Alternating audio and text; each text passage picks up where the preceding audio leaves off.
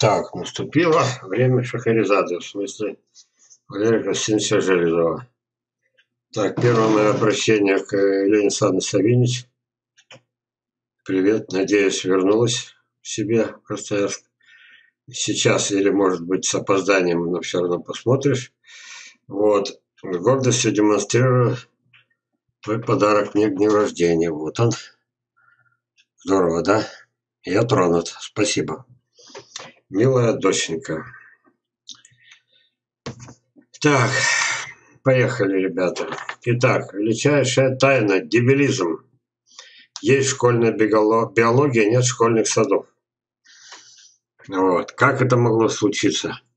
И вот здесь, в этой компании, после посадки сада или во время посадки, тут те- телевидение было, но даже телеканал «Мир», федеральнейший, федеральнейший телеканал, один из главных, любимый канал Путина, любимый канал Лукашенко, даже он никак не показав этот сюжет, никак не повлиял на ситуацию.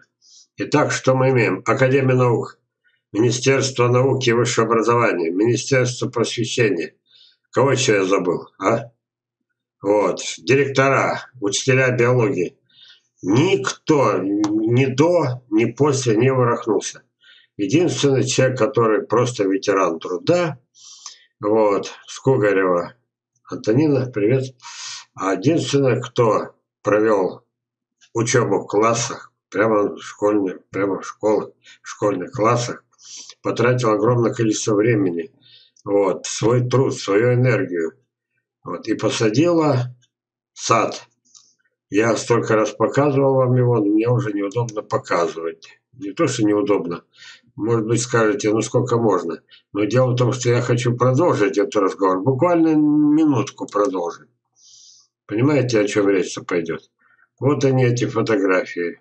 Сейчас увидите, да? Вот. Допустим, вот одна, вот то, что сейчас показывал. Вот дети садят.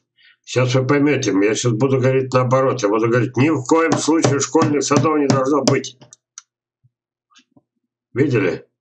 Вот первый и последний случай, так он и останется. Сейчас объясню почему. Видели? Вот так. Возвращаемся к себе, вот сюда. Почему? Потому что представим себе времена советские. И вдруг, помните, за себя и за того парня, то есть работать больше на зарплату не добавлять не будем, еще и за того парня поработайте. Все это было цинизм, подлость, ордена одни, лишняя работа другим. Вот, все это было. И здесь было бы вроде бы лучше. Если бы в советское время бы Антонина вот так вот бы начала, могли подхватить.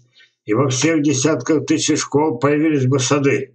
И что было бы, Антоня? Они все до единого были бы загублены. Мы об этом будем говорить уже в виде лекций. Самые крутые садоводы России и мира придумали агротехнику, которая заранее, из-за которой обречены вот то самое. Смотрите.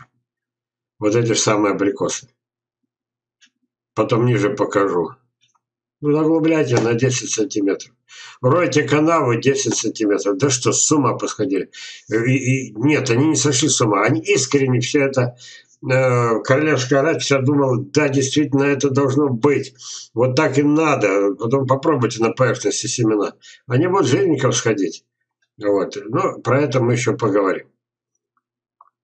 А потом, не дай бог, если что-то бы в школьных садах бы и выросло, дальше бы детей научили зверской агротехнике. Вот. Буквально все, о чем мы 140, я подчеркнул, 145 вебинар. Все это мы проходили. И получается, Тоня, все это было бы похоронено. Вот. И опять Минпрос, Мин, Миннауки и образования, Академия наук и прочее, прочее. Министерство сельского хозяйства. Каждом районе, в каждом эти, в районе специалисты есть. В каждой области есть мини, республика, Министерство сельского образования, и в том числе там есть отделы садоводства обязательно, как я с удивлением узнал. И там сидят такие специалисты, которые в основной массе своей ни разу в жизни не вырастили ни одного дерева. А называется отдел садоводства и... Лена Александровна, как там дальше? Ладно, чтобы не было грустно, я, я смеюсь. В общем, вы поняли. Мы не готовы даже к этому. Вот так вот.